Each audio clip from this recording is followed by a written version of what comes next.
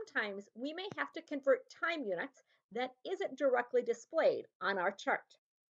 For example, what if we wanted to change days into minutes? Looking at my chart, I don't have a row that directly relates days and minutes. So what I need to do is actually two problems in one. We would start by changing days into hours and then changing hours into minutes. In our first example, let's find out how many minutes are in five days. We're going to have to figure out what to change into since we can't go from days to minutes. We said we'd go from days to hours, then hours to minutes. So my plan is that I'm going to change days into hours first. Let's look at our units. I'm changing days to hours.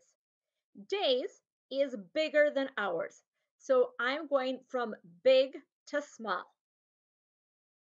Big to small means that I'm going to multiply because a day is going to have more than five hours. I also remember that one day has 24 hours since one day has 24 hours and I'm looking for five days,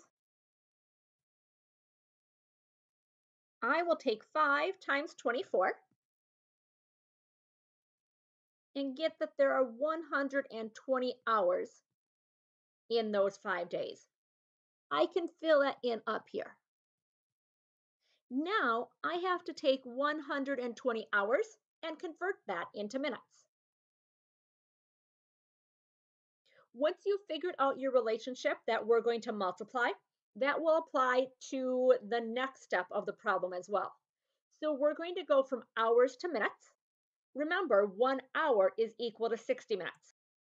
So 120 hours would equal 60 times 120, which is 7,200 minutes. So five days is equal to 7,200 minutes. Let's try one more. Our second example wants us to change to 28,800 minutes into days. In our second example, let's change 2,520 hours into weeks. Again, our chart doesn't directly relate hours to weeks. However, we can change hours into days, then days into weeks. So I noted my plan on the top. I'll take 2,520 hours, change it into days.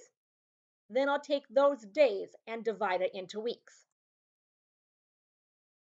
Looking at the units, I am going from hours to days. Hours to days means I am going from small to big. It's going to be a division problem.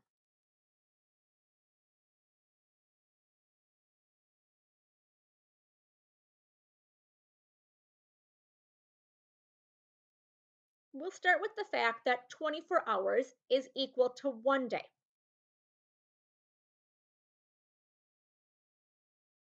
Twenty-five twenty divided by 24 equals 105 days.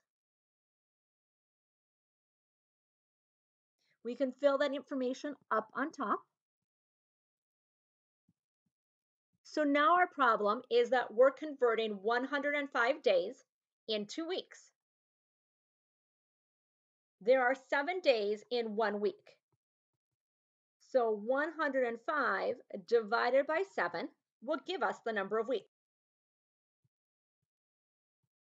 105 divided by 7 is 15. So we have found that 2,520 hours is equal to 15 weeks.